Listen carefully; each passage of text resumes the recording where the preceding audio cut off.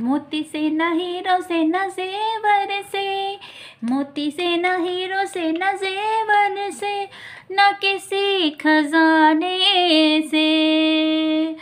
हमको लगता है डर, नेहा दीदी के स्ट्राइक देने से। So hello friends welcome back to my channel मेरा नाम है पुष्पा और जैसा कि आप लोग जानते हैं कि मैं रिएक्शन चैनल पर वीडियोस बनाती हूँ और कोशिश ये करती हूँ कि अपनी लैंग्वेज में अभद्र भाषा का प्रयोग ना करूँ और किसी को भी इतना टॉर्चर ना किया जाए कि वो मतलब दिमागी तौर पर परेशान हो जाए।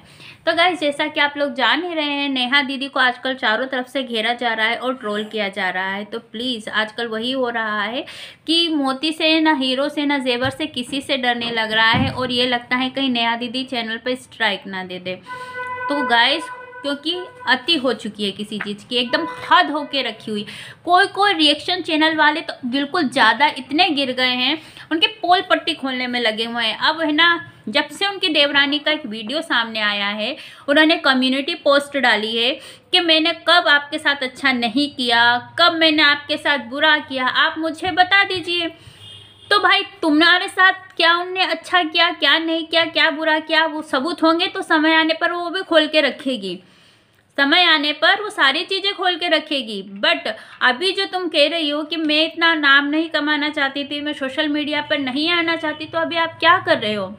आप क्या कर रहे हो सोशल मीडिया पर आने के लिए? डेली लाइव आते हो और अब लोग भी आते हैं तो आप कहीं ना कहीं ज़रूर कंपैरिजन कर रहे हो नेहा से, क्योंकि आप खुद भी ये चीज़ पाना चाहते हो कि जो नेहा जिस ऊंचाई पर पहुँची है, मैं भी उस ऊंचाई ऊंचाई पर पहुंचूं।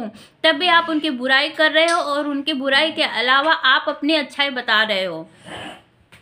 इसी वजह से, इसी वजह से नेहा को चारों तरफ़ ट्रोल किया जा रहा है। अगर नेहा की देवरानी नहीं आती कंचन तिवारी, या उनके खिलाफ कुछ ऐसी बातें नहीं बोलती और शायद उनके पॉजिटिव जो होती है, बातें वो रखती तो इतना ट्रोल नहीं किया जाता। अभी रिएक्शन चैनल वालों को कहाँ से मसाला मिलता है? भाई फैमिली वाले ही तो बताते हैं। जब फैमिली वाले कोई चीज़ बताएँगे तो हम लोग उनके घर देखने तो जा नहीं रहे हैं कि क्या बात है, क्या बात नहीं है।